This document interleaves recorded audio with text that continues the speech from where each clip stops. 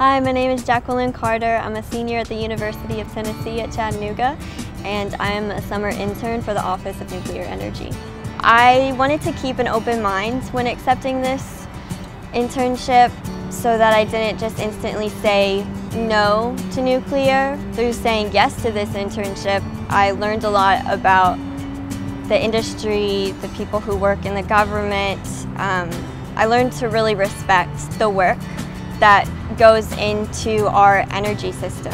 So my perspective on nuclear energy has definitely shifted. Um, I did come into this internship pretty anti-nuclear, but I would say I'm rather neutral um, because it's not very productive to be too anti-anything. It's really a matter of collaboration and what is a common objective and how are we going to reach that objective, such as addressing climate change. So I see nuclear energy definitely being a part of the conversation moving forward for a very long time.